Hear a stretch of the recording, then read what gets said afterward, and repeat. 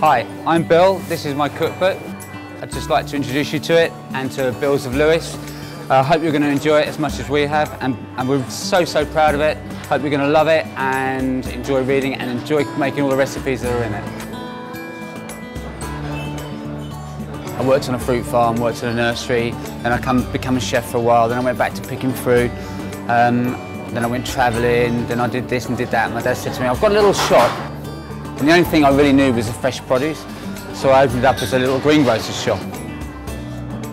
That was quite successful and it grew a bit, and then we moved onto this high street, and my sister-in-law is amazing. She works in the restaurant industry. She said this would make a great cafe.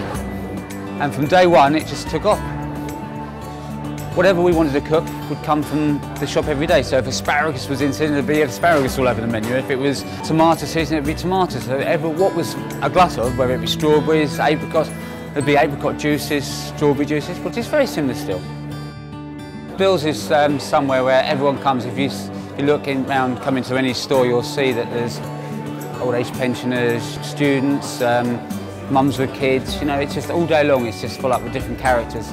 And every day there's someone coming, I look, sit there looking quite quirky, so some guy with a motorbike hat on eating a fairy cake, you know, there's always a funny little thing going on like that. It's always got to be, make people laugh. And the book really does give you that feel about it. It's beautiful, it's got all the illustrations that I love, it's got all the colours that are about Bills, it's fun, it's, it's about all the way we do food in Bills, it's got all the things, it's something for everybody, which Bills is about, so it's all about the way we've brought Bills together over the last 10 years, really.